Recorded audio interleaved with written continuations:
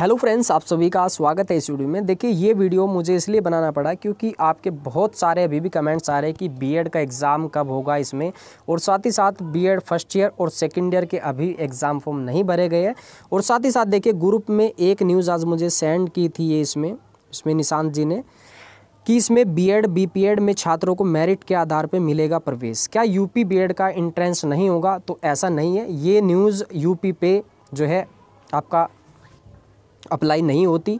ये होती है मध्य प्रदेश बीएड पे। क्योंकि मध्य प्रदेश में क्या है, देखिए बीएड और बीपीएड में जो है मेरिट के आधार पे एडमिशन मिलता है। जिस तरीके से यूपी में बीटीसी में आपको एडमिशन दिया जाता है मेरिट के आधार पे हाई स्कूल इंटर और ग्रेजुएशन की मेरिट के आधार पे। साथ ही साथ यहाँ पे हम देखेंगे कि तैयारी आपकी कैसी चल रही है और आपकी तैयारी में आप कैसे उसको अच्छे से और कर सकते हैं।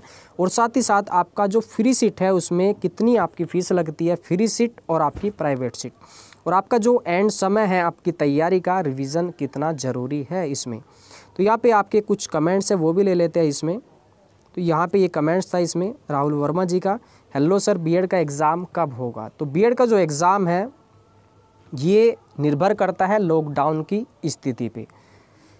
क्योंकि तीन मई तक अभी बताया कि तीन मई तक लॉकडाउन रहेगा और ऐसी कोई न्यूज़ नहीं आई है कि तीन मई के बाद ये लॉकडाउन बढ़ाया जाएगा या इसको ख़त्म किया जाएगा।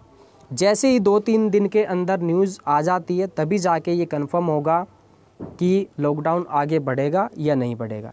लेकिन यूनिवर्सिटी की ओर से बता दिया गया है, क्योंकि अगर तीन के बाद लॉकडाउन हट जाता है तो आपके पंद्रह या बीस दिन के अंदर ही आपके B A B S C B com और आपका जो बी एड इंट्रेंस है, वो करा लिया जाएगा इसमें। इसके बाद यहाँ पे आगे आगे इनका साक्षी वर्मा मौर्य जी का ये कमेंट था, सर मेरिट से होगा क्या बीएड इंट्रेंस इसमें? नहीं होगा क्या इस बार? तो देखिए, आपका मेरिट के आधार पे आपको एडमिशन नहीं दिया जाएगा, आपका इंट्रेंस एग्ज़ाम ही होगा। क्योंकि यहाँ पे आपको पता है फ्री सीट केवल उन्हीं को दी जाती है जिसके हाई मार्क्स होते हैं। लेकिन यहाँ पे आपका मूल्यांकन कैसे होगा? लेकिन कोई स्टूडेंट ऐसे भी होते हैं जिनका हाई स्कूल इंटर और ग्रेजुएशन में 50 से 55 परसेंट ही होता है, लेकिन उनका इंट्रेंस में बहुत अच्छा मार्क्स होता है तो उनको यहाँ पे फ्री सीट मिलती है। तो इसीलिए आपका इंट्रेंस एग्ज़ाम होना ज़रूरी है। और देखिए, यहाँ पे आपका आगे, इसके बाद ये कमेंट था रूबी सिंह जी का इसमें तो यहाँ पे क्या कमेंट था इनका? इसमें था बट इंट्रेंस एग्ज़ाम पहले होगा या फिर कॉलेज एग्ज़ाम्स पहले होगा? देखिए आपका यहाँ पे यूपी बी एड इंट्रेंस जो होने वाला है, उसमें लगभग 80 से 90 परसेंट जो स्टूडेंट है, वो सभी अपेयरिंग वाले हैं। तो देखिए, आपका एग्ज़ाम पहले हो जाए या इंट्रेंस पहले हो जाए तो इसमें कोई ऐसी कोई बात नहीं है कि आपका कोई भी पहले हो जाए। लेकिन एडमिशन आपको ही मिलना है तो इससे चिंता करने की कोई बात नहीं है। लेकिन अभी आपको केवल अपनी जो तैयारी है, वो आपको रखनी है इसमें। इसके बाद एक कमेंट्स है यहाँ पे, देखिए, इसमें मिश्रा जी का कि माइनस मार्किंग भी होती है क्या? तो देखिए, आपका जो माइनस मार्किंग है, वो होती है आपकी वन बाई थ्री की। आपकी माइनस मार्किंग होती है यूपी बेड इंट्रेंस में, जो कि आपके लिए जानना बहुत ज़रूरी है। देखिए वन बाई थ्री का क्या मतलब है इसमें? अगर आपका तीन क्वेश्चन आप गलत कर देते हो, आपका, देखिए, जैसे आपका, ये आपने तीन क्वेश्चन गलत कर दिया तो इसमें क्या होगा? आपका जो यहाँ पे दंड आपको दिया जाएगा, वो आपका तीन पे एक का दिया जाएगा, यानी कि आपका जो चौथा क्वेश्चन सही होगा तो ये भी आपका जो है गलत आपका मान लिया जाएगा कि आपका इसमें दंड जैसे दिया है। तो आपका मान लीजिए ये चारों क्वेश्चन आपके गलत हो जाएँगे इस तरीके से। तो आपको क्या करना है, अगर आपका चार क्वेश्चन है और आपको लगता है कि आप एक क्वेश्चन सही कर सकते हैं इसमें तो केवल वही टच करें, बाकी को छोड़ दे। तो आपको जो माइनस मार्किंग है आपकी, या आपको दंड है, वो नहीं मिलेगा। तो आपको एक क्वेश्चन अगर आपका राइट होता है तो आपको इस पर दो मार्क्स आपका दे दे जाएगा। देखिए, यहाँ पे कभी कभी क्या होता है कि स्टूडेंट सत्तर क्वेश्चन राइट कर देता है सौ में से, और जो तीस क्वेश्चन यहाँ पे बचता है, उन पे तुक्के लगा दिए। तो आपका क्या होगा, यहाँ पे आपको की जो माइनस मार्किंग लगेगी, फिर आपका यहाँ पे सात से आपका आठ क्वेश्चन गलत हो जाएगा। तो ये क्या होगा? इसी में से काट लिया जाएगा। तो यहाँ पे आपका जो कुल क्वेश्चन बचेगा वो साठ से बासठ ही क्वेश्चन आपका बचेगा। ठीक है? तो आपको क्या करना है? अगर आप सत्तर क्वेश्चन राइट करते हैं तो केवल आपको यही करना है। जो आप, ये तीस क्वेश्चन आपको नहीं पता तो ये छोड़ दीजिए। कोई दिक्कत नहीं है। सत्तर क्वेश्चन पे भी आप इसमें जो है फ्री सीट निकाल सकते हैं। अगर आप सत्तर फ़र्स्ट पेपर में करते हैं और आपका सत्तर क्वेश्चन आप सेकंड पेपर में कर देते हैं आराम से। क्योंकि फ्री सीट निकालने के लिए कम से कम आपका जो है दो सौ साठ से सत्तर मार्क्स आपका होना चाहिए, जो कि आपका आराम से हो जाएगा।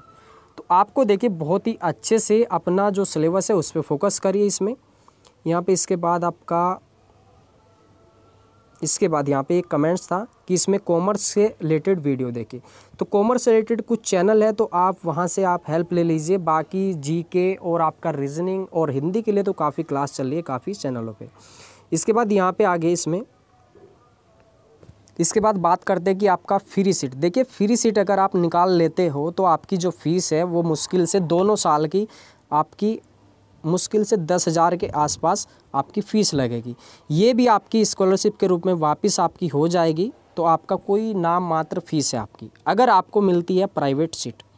तो आपकी जो फ़र्स्ट ईयर की फ़ीस होगी, वो होगी लगभग देखिए इक्यावन हज़ार दो सौ पचास तो आपकी एक ही साथ देनी है, बाकी आपकी कॉलेज में भी आठ से दस हज़ार आपसे ले लिए जाते हैं। तो आपकी कुल मिला के आपकी जो फ़ीस होगी, फ़र्स्ट ईयर की वो होगी लगभग सत्तर हज़ार के आसपास आपकी फ़ीस होगी। यहीं सेकेंड ईयर में भी आपकी आपकी जो यहाँ पे तीस से पैंतीस हज़ार रुपये फ़ीस होगी। कुल मिला के आपका जो है एक लाख रुपए लगेगा। अब यहाँ पे देखिए स्कॉलरशिप में ये वापस भी हो जाती है। कभी कभी क्या होता है स्कॉलरशिप नहीं भी आ पाती। जैसे अब की बार देखिए, आपको पता है क्या कंडीशन चल रहे तो ऐसी जो समय है, ऐसे में आपकी स्कॉलरशिप जो है मुश्किल हो जाती है।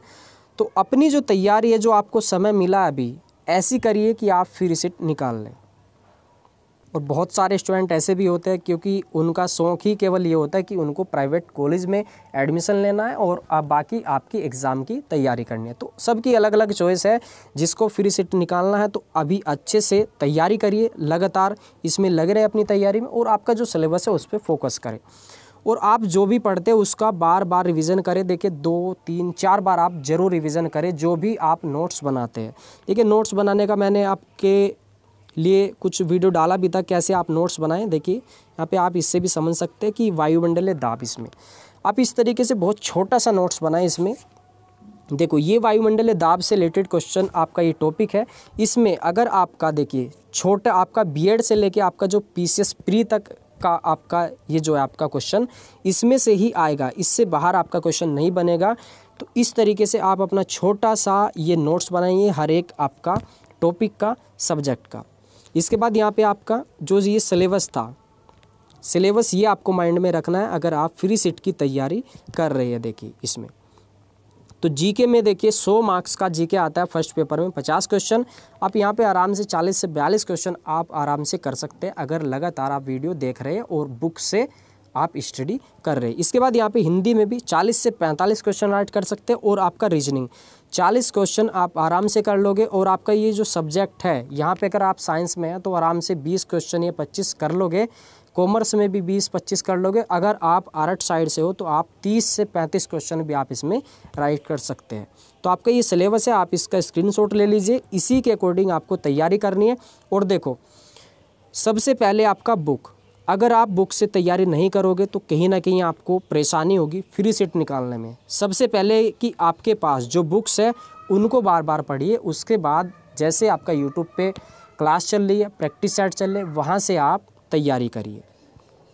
क्योंकि यही बात मैं आपको सिलेबस को लेके काफ़ी आठ से दस बार बोल चुका हूँ वीडियो में, क्योंकि मुझे पता है क्योंकि मेरा जीके में फ़र्स्ट पेपर जो था, उसमें मेरा जो बयालीस क्वेश्चन राइट था, हिंदी में भी लगभग चालीस क्वेश्चन राइट था क्योंकि फ्री सीट निकालना बहुत आसान है, अगर आप तीन सब्जेक्ट पे भी फोकस कर देते हो। तो आप अड़तीस से चालीस क्वेश्चन तक की आप तैयारी करो, बहुत आसानी से आप फ्री सीट निकाल लोगे।